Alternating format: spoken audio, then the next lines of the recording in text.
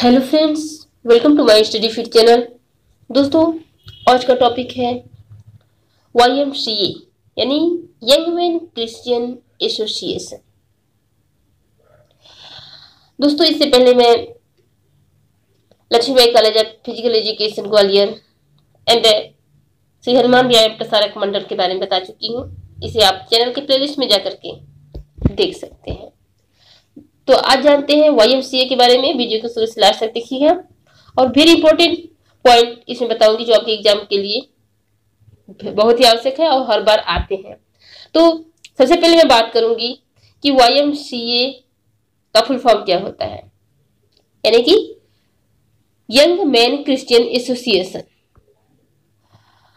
सबसे पहले बात करेंगे कि विश्व स्तर पर इसकी स्थापना कब हुआ था। तो विश्व स्तर पर इसकी स्थापना जो है 6 जून 1844 में जॉर्ज विलियम द्वारा लंदन में हुआ था। ठीक है? एंड इसे वाई से दर्शाया जाता है। और इसका जो मुख्यालय है, जिनेवा, स्विट्जरलैंड में है। ठीक है? तो क्या समझे? अगर विश्व स्तर पर पूछेगा कि वाई की स्थापना कब हुआ था सबसे पहले तो 6 जून अठारह सौ चौवालिस को जॉर्ज विलियम द्वारा लंदन में। ठीक है? मुख्यालय जेनेवा, स्विट्जरलैंड में। अब मैं बात करूँगी कि भारत में इसकी स्थापना कब हुई? विश्व स्तर पर तो 6 जून अठारह जॉर्ज विलियम द्वारा लंदन में हुआ। पर भारत में इसकी स्थापना जो है वायएमसीए के अधीन। भारत में YMCA college of physical education की स्थापना 1920 में चेन्नई मद्रास में, चेन्नई चेन्नई का ही पूरा नाम मद्रास था, यानी तमिलनाडु के चेन्नई में अमेरिका से आए हुए विशेषज्ञ, जिनका नाम श्री हैरी क्रोबक था, उनके द्वारा इसकी स्थापना किया गया। तो भारत में वाईएमसीए की स्थापना, यानी YMCA college of physical education की स्थापना कब स्थापना कब की गई? तो 1920 ईस्वी में हैरी क्रूबक द्वारा कहाँ पे? चेन्नई में, तमिलनाडु में, ठीक है? तो चेन्नई न करके मद्रास भी कह देगा तो उसी का पुराना नाम, चेन्नई का ही पुराना नाम मद्रास है। तो 1920 में, मद्रास में इसकी स्थापना हैरी क्रोबक द्वारा हुआ। और हैरी क्रोबक जो है, वो पेंसिल्वानिया के निवासी थे। कहाँ के रहने वाले थे? पेंसिल्वानिया के। और ये भारत में शारीरिक शिक्षा के पितामह कहे जाते हैं। तो इसमें जो भी बता रही हूँ, वो भी वेरी फैक्ट है और हमेशा पूछे जाते हैं। अब क्वेश्चन ये पूछेगा कि भारत में शारीरिक शिक्षा के पितामह कौन है? ठीक है? तो हैरी क्रूबक। और वाईएमसीए के प्रथम निर्देशक कौन थे? तो डॉक्टर ए जी नोहरान ठीक है? इसको ध्यान में रखिएगा।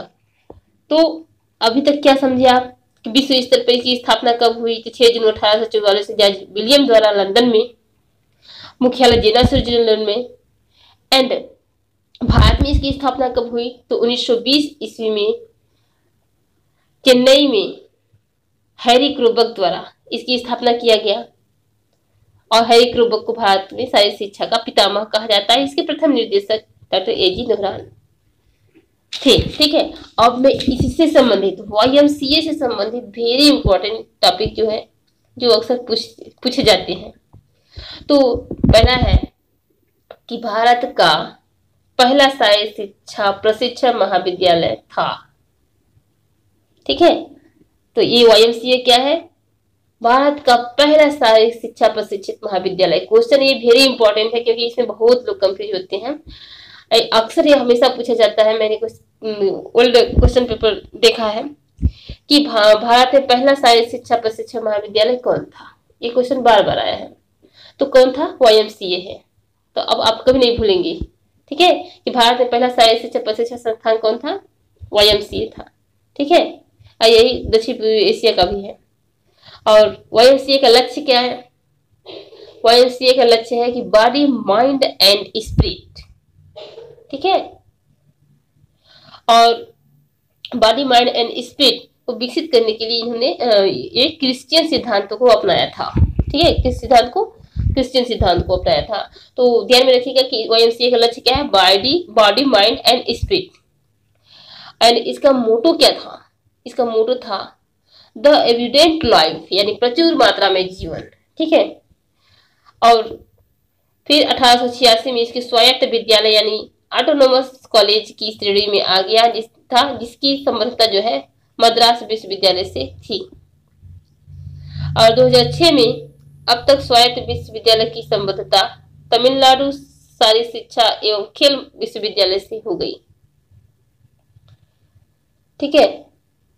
यानी कि 2006 से अब तक उन्नीस में तो इसको ऑटोनोमस कॉलेज की श्रेणी में रख दिया गया। और जिस इस किससे संबंध हो गया था? मद्रास विश्वविद्यालय से। और छ में 2006 से अब तक, फिर क्या हुआ? 2006 से अब तक स्वायत्त विश्वविद्यालय की संबद्धता जो है, तमिलनाडु शारीरिक शिक्षा एवं खेल विश्वविद्यालय से हो गया। पहले मद्रास विश्वविद्यालय से था, फिर 2006 से अब तक यानी अभी तक 2006 से अभी तक किसे संबंध है वो तमिलनाडु शारीरिक शिक्षा एवं खेल विश्वविद्यालय से। ठीक है? और इसमें कोर्स कोर्स कोर्स चलाए जाते हैं, जैसे डीपीएड बीपीई बीपीएड तथा अन्य डिप्लोमा एंड सर्टिफिकेट कोर्स इसमें चलाए जाते हैं। तो दोस्तों, ये था वाईएमसीए से रिलेटेड वेरी इंपॉर्टेंट टॉपिक जो आपके एग्ज़ाम में हर बार पूछे जाते हैं। तो मैं इंपॉर्टेंट टॉपिक को ही इसमें रखी हूँ। ठीक है? तो इसमें पाँच छह क्वेश्चन आपको ज़रूर बनता है, उसमें से कोई ना कोई हर बार ज़रूर देता है। तो पहला क्वेश्चन क्या बना? कि विश्व स्तर पर इसकी स्थापना कब हुई? तो छह जून अठारह में जज ब्रिजन लंदन द्वारा, ठीक है? इसका मुख्यालय कहाँ है? तो जिनेवा स्विट्जरलैंड में। भारत में कब स्थापना हुआ? तो 1920 में मद्रास में हैरी क्रोबक द्वारा। भारत में सारे शिक्षा का पितामह किसे कहा जाता है? तो हैरी क्रोबक को। हैरी क्रोबक कहाँ के निवासी थे? पेंसिल्वानिया के। भारत में वाईएमसीए के प्रथम निदेशक कौन थे? तट एजी नेहरान और भारत में शारीरिक शिक्षा का पहला प्रशिक्षण महाविद्यालय कौन था? तो वाईएमसीए वाईएमसीए का लक्ष्य क्या था? Body mind and spirit YMCA का मोटो क्या था? द एबोडेंट लाइफ यानी प्रचुर मात्रा में जीवन। ठीक है? और वाईएमसीए को ऑटोनोमस कॉलेज की श्रेणी में कब रखा गया था? अठारह छियासी में। इसकी समर्थता किससे थी? मद्रास विश्वविद्यालय से। और 2006 से अब तक, इसकी समर्थता किससे है? तमिलनाडु साइंस शिक्षा खेल विश्वविद्यालय से। इसमें कौन कौन से कोर्स चलाए जाते हैं? तो डीपीएड बीपीएड बीपी और अन्य डिप्लोमा सर्टिफिकेट कोर्स तो ये था वाई के बारे में। आई होप कि आपको बहुत अच्छी समझ में आ गया होगा।